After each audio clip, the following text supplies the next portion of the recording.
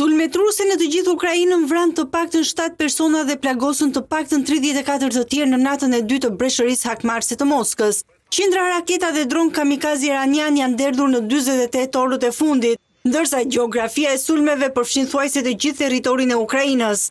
Forcat ruse lëshuan tre raketa balistike Kinzhal nga avioni MiG tridhjetë e një K, pesë raketa KH njëqind e një nga avionët bombardues Tupolev nëntëdhjetë e pesë, një raketë balistike Iskander M dhe një raketë rrëshqitëse Iskander K. Rreth dhjetë dronë sulmues dhe disa raketa u rrëzuan pranë Kievit, duke shtuar se gjithçka që fluturoi në kryeqytet u shkatërrua.